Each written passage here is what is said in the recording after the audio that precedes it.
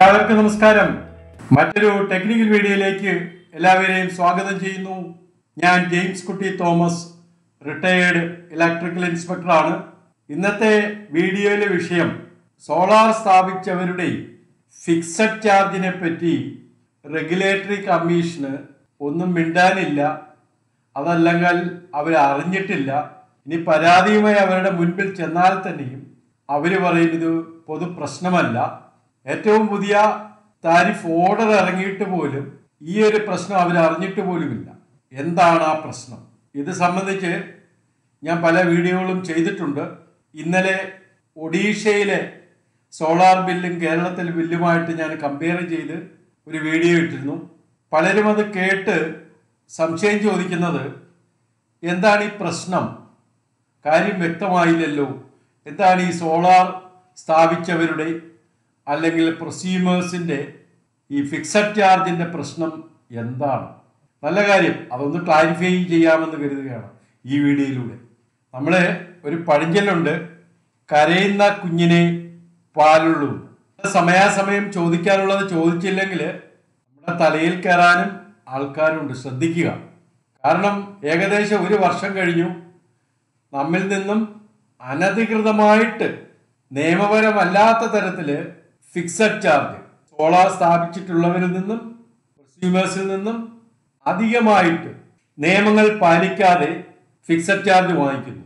അതെങ്ങനെയാണ്? ഈ വീഡിയോയിലൂടെ നമുക്കതൊന്ന് ക്ലാരിഫൈ ചെയ്യാം. ഞാൻ അതിനുവേണ്ടി പഴയ താരിഫ് ഓർഡറുകൾ റെഗുലേറ്ററി കമ്മീഷന്റെ കേരള സ്റ്റേറ്റ് ഇലക്ട്രിസിറ്റി റെഗുലേറ്ററി കമ്മീഷന്റെ പഴയ താരിഫ് ഓർഡറുകളൊക്കെ എടുത്ത് ഒന്ന് ഓടിച്ച് കാര്യങ്ങൾ പറയുവാൻ ശ്രമിക്കുകയാണ്. രണ്ടായിരത്തി പതിനാല് പതിനഞ്ചിലെ ഓർഡർ ഇപ്പോൾ നിങ്ങൾക്ക് സ്ക്രീനിൽ കാണാം. അതിലെ ഫിക്സഡ് ചാർജ് ഞാൻ ഹൈലൈറ്റ് ചെയ്തിട്ടുണ്ട്. സിംഗിൾ ഫേസിന് ഇരുപത് രൂപ ഒരു മാസത്തേക്ക്. ത്രീ ഫേസ് ആണെങ്കിൽ അറുപത് രൂപ. ഇതിന് യൂണിറ്റുമായിട്ട് അല്ലെങ്കിൽ മന്ത്ലി കൺസെപ്ഷനുമായിട്ട് ഒരു ബന്ധവുമില്ല. അത് ശരിക്കും ഫിക്സഡ് ചാർജിന്റെ ഉദ്ദേശം അത് തന്നെയാണ്. കാരണം ലൈസൻസിയുടെ അല്ലെങ്കിൽ കെ എസ് സി ബിയുടെ ഇൻഫ്രാസ്ട്രക്ചർ നമ്മുടെ വീട്ടിലെ കണക്ടഡ് ലോഡിന് വേണ്ടി ഒരു എട്ട് കെ ഡബ്ല്യു എങ്കിൽ എട്ട് കെ ഡബ്ല്യു അഞ്ചെന്നെങ്കിൽ അഞ്ച് അതനുസരിച്ച് അവരുടെ ഇൻഫ്രാസ്ട്രക്ചർ നമ്മൾ ഉപയോഗിക്കുകയാണ്. നമ്മളിപ്പോൾ എട്ടിന്റെ സ്ഥാനത്ത് നമ്മൾ അമ്പത് കെ ഡബ്ല്യു ആണെങ്കിൽ അവരുടെ ഇൻഫ്രാസ്ട്രക്ചർ അതനുസരിച്ച് കൂടുതൽ നമ്മൾ ഉപയോഗിക്കേണ്ടി വരും. അതാണ് ഫിക്സഡ് ചാർജ് നമ്മൾ കൊടുക്കുന്ന വാടകയാണ്. അല്ലാതെ കൺസ്യൂം ചെയ്യുന്ന എനർജിയുമായിട്ട് ശരിക്കും അതിന് യാതൊരു ബന്ധവുമില്ല. അതിന് നമ്മൾ എനർജി ചാർജ് വേറെ കൊടുക്കുന്നുണ്ട്. ഇവിടെ പ്രശ്നം ഫിക്സഡ് ചാർജ് കേരളത്തിലെ ഡൊമസ്റ്റിക് കൺസ്യൂമേഴ്സിന് മാത്രം എന്താണ് ഇങ്ങനെയൊരു ഫിക്സഡ് ചാർജ് പിരിവ്. അപ്പോൾ പതിനാല് പതിനഞ്ചിലെ ഓർഡറിൽ പ്രശ്നമൊന്നുമില്ല. അതിൽ കൃത്യമായിട്ട് പോയി. അത് കഴിഞ്ഞ് പതിനേഴ് പതിനെട്ടിലെ ഓർഡർ അത് ഏകദേശം ഒരു ആറ് ഏഴ് പത്തൊമ്പത് വരെ എക്സ്റ്റെൻഡ് ചെയ്ത ഒരു ഓർഡറായിരുന്നു അതിലും പ്രശ്നമൊന്നുമില്ല. സിംഗിൾ ഫേസിന് മുപ്പത് രൂപയായി മറ്റേത് ത്രീ ഫേസിന് എൺപത് രൂപയായി. പഴയ ഇരുപത് രൂപയിൽ നിന്ന് പുതിയ മുപ്പത് രൂപയായി പിന്നെ പഴയ അറുപത് രൂപ പുതിയതിൽ എൺപത് രൂപയായി. അതിൽ നമുക്ക് പ്രശ്നമൊന്നുമില്ല. അതായത് ആ സമയത്തും സോളാർ സ്ഥാപിച്ചിട്ടുള്ളവർക്ക് വലിയ പ്രശ്നങ്ങളൊന്നുമില്ല. പക്ഷേ സോളാർ സ്ഥാപിച്ചു വരുന്നതേ ഉള്ളൂ. അപ്പോഴാണ് കെ സി ബിയിലെ എഞ്ചിനീയേഴ്സിന് ബുദ്ധി ഉദിച്ചത് ഇനി ഇത് മുന്നോട്ട് പോയാൽ ചെറിയ ചെറിയ പ്രശ്നങ്ങളൊക്കെ ഉണ്ടാകും. അതുകൊണ്ട് നമുക്ക് ഈ ഫീ സ്ട്രക്ചർ ഈ ഫിക്സഡ് ചാർജിന്റെ സ്ട്രക്ചർ നമുക്കൊന്ന് മാറ്റാം. അങ്ങനെയാണ് പത്തൊമ്പത് ഇരുപതിലെ പുതിയ താരിഫ് ഓർഡർ വന്നപ്പോൾ ആ സ്ട്രക്ചർ മാറ്റി ഏതിന്റെ ഫിക്സഡ് ചാർജിന്റെ സ്ട്രക്ചർ മാറ്റി. പത്തൊമ്പത് ഇരുപതിൽ നേരത്തെ നമ്മൾ കൃത്യമായിട്ട് കൃത്യമായി എമൗണ്ട് വാങ്ങിച്ചുകൊണ്ടിരുന്ന സ്ഥലത്ത് ഇങ്ങോട്ട് വന്നപ്പോൾ കാര്യങ്ങൾ മാറി. ഇപ്പോൾ സീറോ ടു ഫിഫ്റ്റി യൂണിറ്റ് ഉപയോഗിച്ചാൽ മുപ്പത്തഞ്ച് രൂപ സിംഗിൾ ഫീസുകാരൻ അങ്ങനെ കാര്യങ്ങൾ മാറി. ഇപ്പോൾ നാനൂറ് യൂണിറ്റ് വരെ ഉപയോഗിക്കുന്ന ഒരു ത്രീ ഫേസുകാരൻ നൂറ്റി ഇരുപത് രൂപ കൊടുക്കണം. ശരിക്കും ഈ സമയത്ത് നമ്മൾ ഓർക്കേണ്ടത് മറ്റ് സംസ്ഥാനങ്ങളിൽ ഇങ്ങനെ ഒരു രീതിയല്ല. കാരണം ഞാൻ പറഞ്ഞല്ലോ ഫിക്സഡ് ചാർജ് എന്ന് പറയുന്നത് നമ്മളെടുക്കുന്ന കണക്ട് ലോഡുമായിട്ടുള്ള ബന്ധമാണ്. അതല്ലാതെ കേരളത്തിലെ ഡൊമസ്റ്റിക്കിന് മാത്രം ഇങ്ങനെ പ്രശ്നം ഉണ്ടാക്കേണ്ട കാര്യമില്ല. പക്ഷെ ഇത് എവിടെ പ്രശ്നം ഉണ്ടായി എന്നിട്ട്? ഈ പത്തൊമ്പത് ഇരുപതിന് ഈ ഓർഡർ ഇറങ്ങി ഏകദേശം ആ സമയമൊക്കെ ആയപ്പോൾ ഇവിടെ ഡൊമസ്റ്റിക്കിൽ വീടുകളിൽ സോളാർ സ്ഥാപിച്ചു തുടങ്ങി. അപ്പോഴാണ് ഇവരുടെ തലയിൽ ഇങ്ങനെ ഒരു ബുദ്ധി ഉദിച്ചത്. നമ്മുടെ ഇന്ത്യയിൽ വേറെ എങ്ങുമില്ലാത്ത ഒരു ബുദ്ധി അവർ കുതിച്ചു ഫിക്സഡ് ചാർജ് നമുക്ക് ഈ സ്ലാബിന്റെ അകത്ത് പെടുത്താം. അങ്ങനെ അവർ ഓർഡർ ഇറക്കി പത്തൊമ്പത് ഇരുപത് മുതൽ വന്ന താരിഫ് ഓർഡറിൽ കാര്യങ്ങൾ മാറി. അങ്ങനെ വരുമ്പോൾ ഇപ്പൊ ഏറ്റവും ലേറ്റസ്റ്റ് ആയിട്ടുള്ള ഓർഡറിൽ നിന്നും അതായത് ഈ ഒക്ടോബർ മുപ്പത്തിയൊന്നിന് ഇറങ്ങിയ താരിഫ് ഓർഡറിൽ എഴുതിയിരിക്കുന്ന ഫിക്സഡ് ചാർജ് ഡീറ്റെയിൽസ് ആണ് ഇപ്പോൾ സ്ക്രീനിൽ കാണുവാൻ പറ്റുന്നത് നിങ്ങൾക്ക്. അതിലെഴുതിയിരിക്കുന്നത് ഹെഡിങ് മുകളിൽ മന്ത്ലി കൺസംഷൻ സ്ലാബ് എന്നാണ്. പഴയ പത്തൊമ്പത് ഇരുപതിലും ഇതേ ഹെഡിങ് തന്നെയായിരുന്നു. അപ്പൊ അതിന്റെ മീനിങ് എന്താണ്? സാധാരണക്കാരായ ഞങ്ങൾക്ക് ഒന്ന് പറഞ്ഞു തരാമല്ലോ. എന്താണ് മന്ത്ലി കൺസംഷൻ സ്ലാബ് ഒരു സോളാർ പ്രസ്യൂമറിനെ സംബന്ധിച്ച് എന്താണ് ഇതിന്റെ അർത്ഥം? ആ സോളാർ കൺസ്യൂമറുടെ മൊത്തം കൺസംഷൻ ആണോ? അതായത് അവർ ജനറേറ്റ് ചെയ്ത് നേരിട്ട് ഉപയോഗിക്കുന്ന എനർജിയും കൂടി ഉൾക്കൊള്ളിച്ചുകൊണ്ടാണോ ഈ മന്ത്ലി കൺസംഷൻ ഫിക്സഡ് ചാർജിന് വേണ്ടി എടുക്കുന്നത്. അങ്ങനെയെങ്കിൽ ഇതിന് ബന്ധപ്പെട്ട ഒരു ഓർഡർ ഒന്നുകിൽ സെൻട്രൽ ഗവൺമെന്റിൽ നിന്ന് തരണം അല്ലെങ്കിൽ ഇവിടുത്തെ റെഗുലേറ്ററി കമ്മീഷനിൽ നിന്ന് തരണം. പക്ഷെ അങ്ങനെ ഒരു ഉത്തരവ് ഞങ്ങൾക്ക് കാണുവാൻ പറ്റുന്നില്ല. രണ്ടായിരത്തി ഇരുപത്തി രണ്ട് നവംബർ ഡിസംബർ മുതലുള്ള ഈ ഒരു മാറ്റം ബില്ലുകളിൽ വന്ന ഈ ഒരു മാറ്റത്തിന് അടിസ്ഥാനപരമായ ഓർഡർ ഉത്തരവാണ് ഞങ്ങൾക്ക് ആവശ്യമുള്ളത്. ഇറങ്ങി ഓർഡർ ഇറങ്ങി. എവിടെ നിന്ന്? കെ എസ് സി ബിയിൽ നിന്ന് പറയും. പത്തൊമ്പത് ഏഴ് ഇരുപത്തിരണ്ടിന് ഓർഡർ ഇറങ്ങി.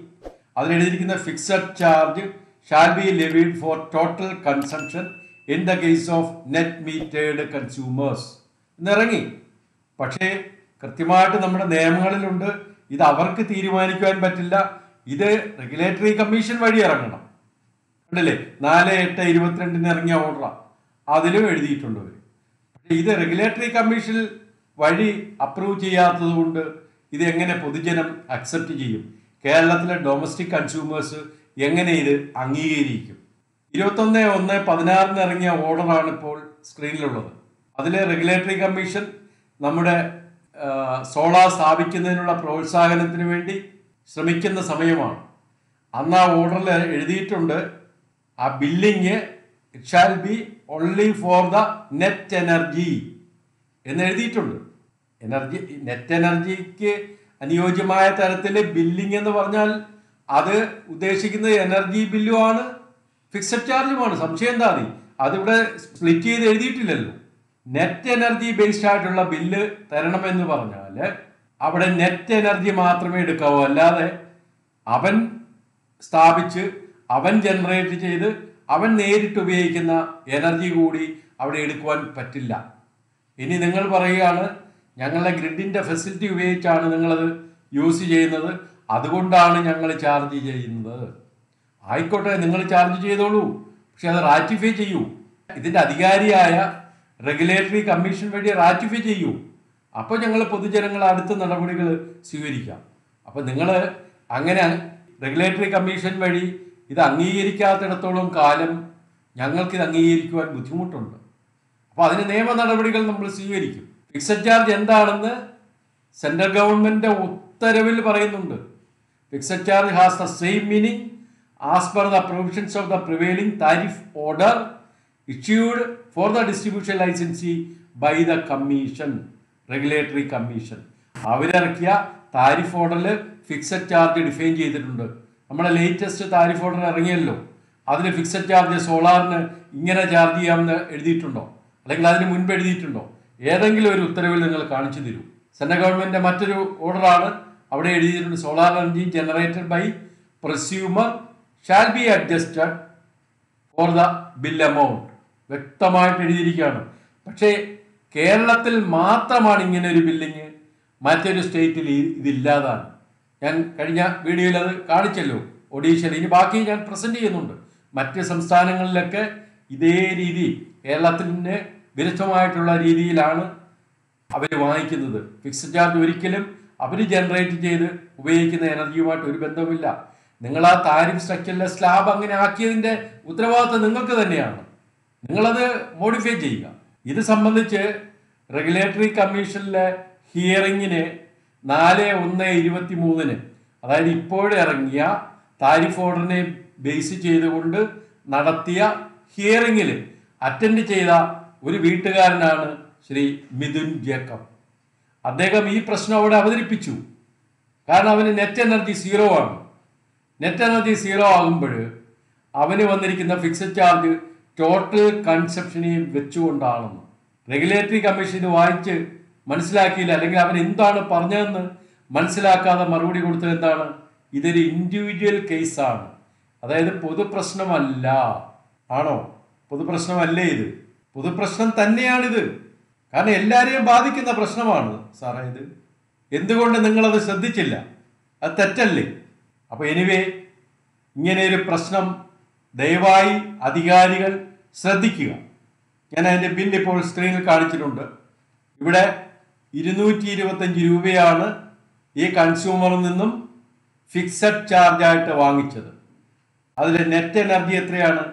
എക്സ്പോർട്ട് നാനൂറ്റി നാൽപ്പത്തിനാല് ഇമ്പോർട്ട് നാനൂറ്റി പത്തൊമ്പത് നെറ്റ് എനർജി എന്ന് പറഞ്ഞാൽ സീറോ കാരണം എനർജി ബില്ലില്ല എനർജി ചാർജ് ഇതിന്റെ അകത്ത് വന്നിട്ടില്ല. അങ്ങനെയാണെങ്കിൽ ഫിക്സഡ് ചാർജും വരാൻ പറ്റില്ല. കാരണം അങ്ങനെയല്ലേ നമ്മുടെ നിയമങ്ങളിലൊക്കെ നമ്മളിപ്പോൾ വായിച്ചത്? അതിനു പകരം നിങ്ങൾ ചാർജ് ചെയ്യുന്നത് ഈ തരത്തിലാണ് നാനൂറ്റി പത്തൊമ്പത് ഇമ്പോർട്ട് ചെയ്തതും ഞാൻ ജനറേറ്റ് ചെയ്ത് നേരിട്ട് ഉപയോഗിച്ചതും കൂടെ നിങ്ങൾ ആഡ് ചെയ്ത് അഞ്ഞൂറ്റി മുപ്പത്തൊന്ന് യൂണിറ്റിനാണ് നിങ്ങൾ ഫിക്സഡ് ചാർജ് വാങ്ങിക്കുന്നത്. ഇന്ന് മുതലാ രണ്ടായിരത്തി ഇരുപത്തിരണ്ട് നവംബർ ഡിസംബർ മുതൽ. പക്ഷെ അതിനു മുൻപ് നിങ്ങൾ ഇമ്പോർട്ട് മാത്രമായിട്ടെടുത്ത് പിരിച്ച സമയമുണ്ടായിരുന്നു അതും ശരിക്കും തെറ്റാണ്. നിയമത്തിൽ നെറ്റ് അലർജി എന്ന് പറഞ്ഞിട്ടുണ്ടെങ്കിൽ അത് തെറ്റാണ്. അല്ലെങ്കിൽ താരിഫ് ഓർഡറിൽ നിങ്ങളത് ക്ലാരിഫൈ ചെയ്യണം. അതല്ലെങ്കിൽ അതിന്റെ സ്ലാബിന്റെ സ്ട്രക്ചർ എനർജിക്ക് വേണ്ടിയല്ല ഫിക്സഡ് ചാർജിന് വേണ്ടി ആ സ്ലാബിന്റെ സ്ട്രക്ചർ നിങ്ങൾ മോഡിഫൈ ചെയ്യുക. അല്ലെങ്കിൽ അവിടെ എഴുതുക ഫിക്സഡ് ചാർജ് പെർ മന്ത് ഇത്ര രൂപയെന്ന് എഴുതുക. അല്ലെങ്കിൽ പെർ കെ ഡബ്ല്യു കണക്ടറിലൂടെ വെച്ച് പെർ കെ ഡബ്ല്യു എത്രയാണെന്ന് എഴുതുക. അങ്ങനെയാണെങ്കിൽ ഇത് ബാധിക്കത്തില്ലല്ലോ. ഡൊമസ്റ്റിക്കാരെ മാത്രം ബാധിക്കത്തില്ലല്ലോ. ഈ ഡൊമസ്റ്റിക്കുകാർക്ക് മാത്രം അല്ലെങ്കിൽ വീട്ടു കണക്ഷന് മാത്രം സോളാർ പ്രൊസ്യൂമേഴ്സ് വീട്ടിൽ വീടുകളിൽ സ്ഥാപിക്കുന്ന പ്രൊസ്യൂമേഴ്സിന് മാത്രം എന്തേ ഇങ്ങനെ ഒരു പ്രശ്നം? ഇവിടുത്തെ കൺസ് മറ്റ് കൊമേഴ്ഷ്യൽ കണക്ഷനായാലും ഇൻഡസ്ട്രിയൽ കണക്ഷനായാലും മറ്റ് എച്ച് ടിയിൽ സ്ഥാപിക്കുന്ന സോളാറിനായാൽ പോലും ഇത്തരത്തിലൊരു പ്രശ്നമില്ലല്ലോ. അവർക്കെല്ലാം ഫിക്സഡ് ചാർജ് ഫിക്സഡ് ആണ്. കേരളത്തിലെ ഡൊമസ്റ്റിക്കിന് മാത്രം എന്തേ ഇങ്ങനെ ഒരു പ്രശ്നം? ദയവായി ഇത് ശ്രദ്ധിച്ചവർ ഇത് മനസ്സിലാക്കുക. ഇത് വലിയൊരു പ്രശ്നമാണ്. ഞാൻ ആദ്യം പറഞ്ഞതുപോലെ തുടക്കത്തിലേ ഇത് നിങ്ങൾ ഒഴിവാക്കുക. കരയുന്ന കുഞ്ഞിനെ പാലുള്ളൂ നിങ്ങളിത് ശബ്ദം ഉയർത്തിയില്ലെങ്കിൽ ഇത് ഇനിയും വരും. പുതിയ പുതിയ കാര്യങ്ങളുമായിട്ട് അല്ലെങ്കിൽ കെ എസ് ബി ഏകപക്ഷീയമായിട്ട് പുതിയ പുതിയ കാര്യങ്ങൾ കൊണ്ടുവരും വീടുകളിൽ നമ്മുടെ കേരളത്തിൽ അല്ലെങ്കിൽ ഇന്ത്യയിൽ മജോറിറ്റി അല്ലെങ്കിൽ കൂടുതൽ കൂടുതൽ ഡൊമസ്റ്റിക്കുകാർ സോളാർ സ്ഥാപിച്ചുകൊണ്ടിരിക്കുകയാണ്. അത് പ്രോത്സാഹിപ്പിക്കുന്നതുകൊണ്ടാണ് ചെയ്യുന്നത്. കാരണം നമ്മുടെ കാർബൺ ഡൈ ഓക്സൈഡ് എമിഷൻ കുറയ്ക്കുവാൻ വേണ്ടി ഗ്ലോബലി ആവശ്യപ്പെട്ട ഒരു നിയമപ്രകാരം ഇവിടെ ഇന്ത്യ ഗവൺമെന്റ് ഇംപ്ലിമെന്റ് ചെയ്ത അത് സ്റ്റേറ്റ് ഗവൺമെന്റ് നടപ്പാക്കുന്ന ഇതിന്റെ പദ്ധതിയുടെ ഭാഗമായിട്ടാണ് ഇവിടെ കൂടുതൽ ഡൊമസ്റ്റിക് വീടുകൾ സോളാർ സ്ഥാപിക്കുന്നത്. വീടുകൾ മാത്രമല്ല എല്ലാവരും സ്ഥാപിക്കുന്നത് അതിനെ പ്രോത്സാഹിപ്പിക്കണം. അതിനെ നിരുത്സാഹപ്പെടുത്തേണ്ടതല്ല. അത് കെ എസ് ബിയുടെ ഇൻഫ്രാസ്ട്രക്ചറിനെ അല്ലെങ്കിൽ അവരുടെ ഗ്രിഡിനെ അഫക്റ്റ് ചെയ്യുന്നുണ്ടെങ്കിൽ അവരതനുസരിച്ച് മോഡിഫൈ ചെയ്യണം. ഇടയ്ക്കൊരു തീരുമാനം വന്നില്ലായിരുന്നു? നമ്മുടെ ട്രാൻസ്ഫോമർ കപ്പാസിറ്റി എക്സീഡ് ചെയ്യുമ്പോൾ. അതായത് ഒരു സോളാർ സ്ഥാപിക്കുവാൻ പോകുന്നു. പക്ഷേ കെ എസ് ബി പറയുകയാണ് ട്രാൻസ്ഫോമർ കപ്പാസിറ്റി സഫീഷ്യന്റ് അല്ല. അതുകൊണ്ട് ഇത്രയും കപ്പാസിറ്റിക്ക് ഫീസിബിലിറ്റി സർട്ടിഫിക്കറ്റ് തരുവാൻ പറ്റില്ല എന്നൊരു കാര്യം വന്നപ്പോൾ എന്തായിരുന്നു തീരുമാനം? ആ ട്രാൻസ്ഫോമർ കപ്പാസിറ്റി എൻഹാൻസ് ചെയ്യാനായിട്ടായിരുന്നു നമ്മുടെ തീരുമാനം. അതേപോലെ നിങ്ങളുടെ ഗ്രിഡിന്റെ സ്ട്രക്ചർ മാറ്റുക. അതനുസരിച്ച് മോഡിഫൈ ചെയ്യുക. എന്നാലും നമ്മൾ സോളാർ കാര്യങ്ങളെ പ്രോത്സാഹിപ്പിക്കേണ്ടിയിരിക്കുകയാണ്. എനിവേ ഇതൊരു നിരുത്സാഹപ്പെടുത്തുന്ന ഒരു സംഗതിയാണ്.